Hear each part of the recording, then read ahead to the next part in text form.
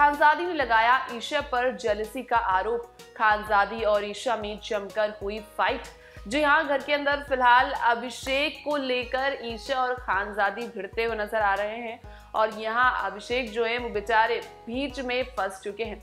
दरअसल हुआ ये कि घर के अंदर ऐश्वर्या और खानजादी का एक बहुत बड़ा झगड़ा हुआ और इस दौरान ईशा ऐश्वर्या को सपोर्ट करती हुई नज़र आ रही थी।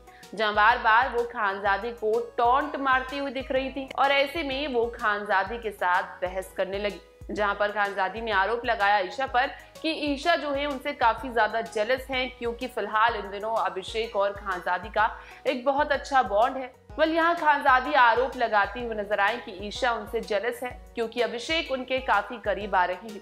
और ऐसे में ईशा को हो रही है जेलसी जी हाँ इस बात पर ईशा भी मज़ाक बनाती हुई नज़र आई खानजादी का और दोनों एक दूसरे को टॉन्ट मारते हुए नज़र आए। मतलब आपको बता दें कि झगड़ा तो ऐश्वर्या और खानजादी का था लेकिन ईशा बीच में कूद पड़ी और ऐसे में खानजादी ने आरोप लगाया ईशा पर कि जानबूझकर वो ऐश्वर्या के साथ गैंगअप करने की कोशिश कर रही हैं, क्योंकि उन्हें जलन होती है इस बात से कि अभिषेक जो है वो खानजादी के बहुत करीब आ रहे हैं।